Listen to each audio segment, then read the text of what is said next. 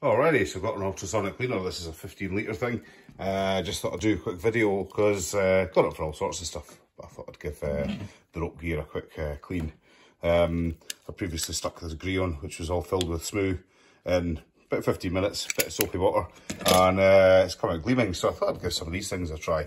Uh, I've got the sort of basic stuff here. I'm not going to put the put this in the, the ASAP because there's actually inside the wheel there there's bearings and stuff, so I don't. They obviously need to be lubricated. But I've got a couple of uh, couple of rigs here, smooth inside. The other one's the same. Um, couple of uh, crabs. You get shit inside there. This one is uh, gummed up, and there's like sort of like fucking and all that in there. The old uh, trusty shunt, the best device in the world, safest houses. Uh, just yeah, bits and bobs in there. Again, they're all pretty clean. I keep them clean. But it's, it's the thing with ultrasonic cleaners is they'll get into all the places you can't, uh, and uh, you know all these sort of all this sort of stuff. So you could just give it a scrub with some uh, soapy water and a wee lubricate afterwards. But uh, you know, uh, just chuck them all in here. So I'll fire them in, fire it on, and uh, we'll see what they come out like. So just some soapy dishwasher. That's everything in there. Uh, it's about 48 degrees.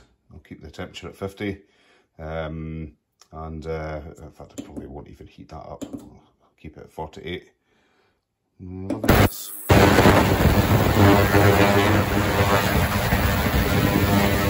The noise is fucking annoying. This stuff is fucking immaculate. You know, all the, uh, you know, all the little bits were dirt gathered. You know, bits of SMOO, all gone you know, brilliant. Nothing in there at all. Look at that, right down to the metal. You know, it just knocks off all the stuff. It's just microscopic bubbles, so it doesn't harm anything.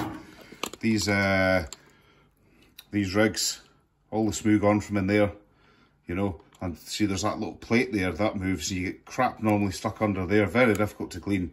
I mean, these don't last long anyway, but uh, phenomenal results, yeah, really. Uh, I had hoped that uh, the machine would maybe turn these rigs into a CMC clutch, but uh, it's not that good. So uh, into the oven with all this stuff, and uh, I've just got that set at 50 degrees, and I'll just uh, take it up to temperature, stick all the stuff in, and then uh, that'll just dry it off nicely. It doesn't need to be any hotter. 50 degrees isn't going to harm anything. So there we go. Stick that there. Qu'est-ce que tu prépares? Pour toi, mon frère. J'ai treat spécial. Voila! Pizza surprise! So yeah, pretty nifty. Uh, look at that. All dried out. Yeah, really nice. Really nice. It's never uh, never been that clean since the day I stole it. It's, uh, oh yeah, there's a bit of, yeah, so obviously it's a, a bit more drying out. So possibly let them sort of stand or reshake and then uh, sort of overnight uh, just in a warm oven. I'd probably just take it up to temperature and uh, turn it off. They hold the heat quite a bit. But yeah, not a bit of uh, not a bit of stuff anywhere. Really clean. These things will just need a little bit of lubrication, just a tiny bit. You know, that's uh, normal PPE maintenance anyway. Look at that spring, you know, immaculate.